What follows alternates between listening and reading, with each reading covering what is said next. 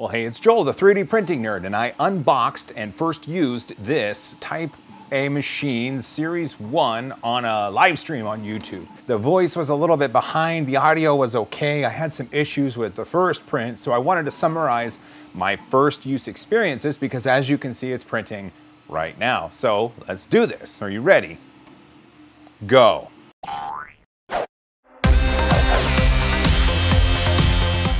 Ah, welcome back. You've never seen me film here before, and this is a wall in my house. And this is almost like my staging table. This is where uh, I bring machines when they're first unboxed, and I kind of want to get the use of them. That way they're not packed behind other machines or in the way of other stuff. It's right here, and I can get around it, and I can use it for the first time to really get a handle on how it works. In my unboxing video, you, you saw me take this out of the box, and it does look hefty because it is hefty. It's sheet metal on the outside, and it's got linear bearings for the X and it's got linear bearings for the Y. And the whole machine runs incredibly smooth. You can tell that this machine is built for more of a professional user. The machine does not have a screen, which does make usage a little bit interesting for someone like me who has it at their home rather than in an industrial complex or some sort of pod where many machines are being controlled by a computer. You control this via a website, and the website is built into here. In fact, it's Octoprint. Shout out to Octoprint. It does include a camera right here to monitor and to film time-lapse prints. The heated bed itself gets up to temperature incredibly fast. In fact, to 55 degrees, it took less than a minute to get it there. It's heated evenly across the entire glass plate. The nozzle itself is fast as well when heating up, and I was able to feed the material in very, very easily. It's got a blower fan right here for the filament, and it's got a fan in the back to cool the throat. Leveling this printer is a little bit interesting, and it does involve having to use the website that's built into this machine in order to complete it. There's a knob in the very back that adjusts the height of the build plate. Once you get it to a certain level, there's another knob over on the side that you turn in order to bring the nozzle closer to the build plate because the build plate can only go up so high. The only difference is the white knob that adjusts the build plate gives you immediate feedback because you can see the build plate moving up and down, but the black knob on the back right doesn't give you immediate feedback. What you have to do is home the nozzle using the software on the website and then see how far away it is and turn the knob one way or another a little bit at a time, rehome the nozzle and then get it to that perfect spot. I must admit, it was a little bit frustrating doing that, but once I got the nozzle and the build plate all squished together just right, it's able to traverse the entire build plate and lay down a very even sheet of plastic as it goes around. It's really kind of cool and it was interesting. Once my leveling process was done and my frustration was over, it did start to perform just like I had hoped it would. When you start the machine, you're able to join it to your network or you can have it create its own access point in order for your laptop or phone to get to it. You're presented with a couple different starter prints within the Octoprint software inside.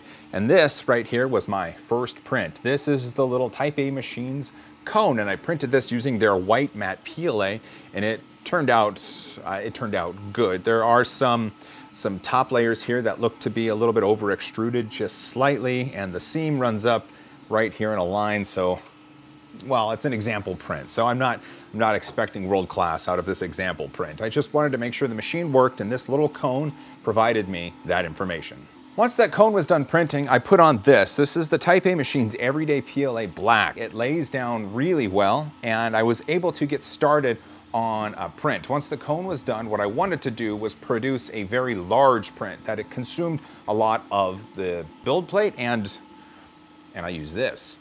Unfortunately, that first print of that Darth Vader head ended up like this, and there was a serious amount of layer shift. So the, the bottom looked good where it attached to the build plate. I'm just using PVA glue on glass, which is what they recommend for this. But the layer shift, I wondered what happened and I figured it out. When it's moving back and forth on the y-axis, when it moves to the back, that filament is backed up, and if the spool of filament is feeding the filament over the top, it backs that filament over the spool holder and the spool itself, and then it gets caught up and wound around the, the, the, spindle, and at that point it drags. And when the nozzle tries to go to a certain spot, that filament keeps it from going, and then it just, well, you get a layer shift, just like this. From there, I thought, well, this is interesting. Let's try it a different way. So what I did, instead of feeding the filament over the top, I fed it underneath, thinking that maybe that would allow the filament more room to, to move. And I started to print this, but oh crap, this failed too.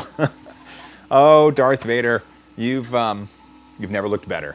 So with this model, I did experience the same layer shifting because the filament did get caught while going through and it did finally get unwound a bit over the, the top of the spool and uh, it got caught up on the spindle and, and it was, well, this is what happened. So during this, I thought, well, it was getting this far, let's protect it a little bit. So I created this little cardboard piece and how this works is the filament went through this little spot right here, would come out here and I, and I put it towards the back thinking that the filament itself wouldn't be knocking back and forth within the spool holder and then it wouldn't go over the top and it wouldn't, well then it wouldn't fail. But uh, this was on there and it did fail, so I needed another solution. So I implemented what I thought was a new solution and I printed this tiny Darth Vader head and it, it looks okay. It's not going to win awards for the best print ever, but I think as an example of me trying to fix a problem, I think it looks okay. And what I didn't notice is in the spool holder that they sent, there's a tiny little hole at the bottom. Uh, I was dark in the garage when I was unboxing and it's a black material that it's used, so I couldn't see this tiny little hole.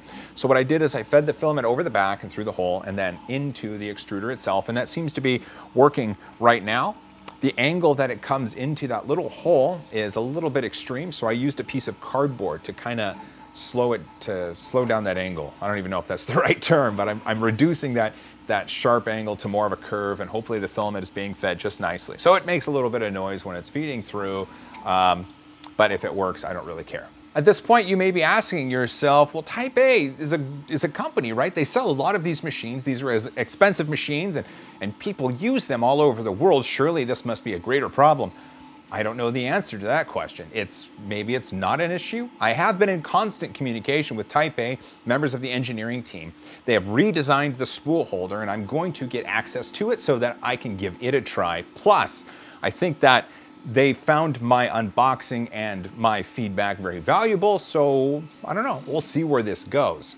All in all, I think for the first use, I've learned a lot about this machine and being in contact with the company gives me gives me a good feeling knowing that they're listening to what I have to say. And in the end, that's kind of what I'm trying to do here, right? I want to educate myself on this printer. I want to educate you on this printer, and I want the company to take any constructive feedback that I have and implement changes in their process or their hardware or their software or whatever it takes to make their product offering better.